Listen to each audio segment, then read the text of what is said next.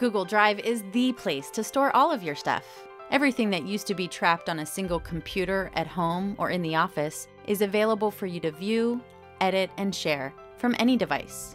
And now with the Google Drive mobile app, your stuff is also available wherever you are.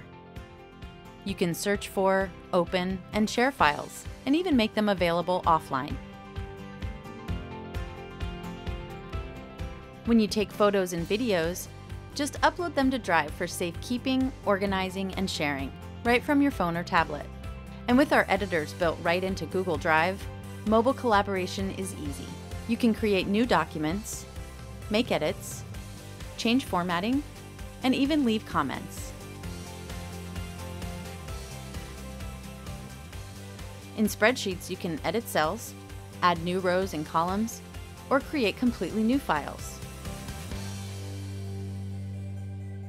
You can even view your presentations, see animations, and rehearse speaker notes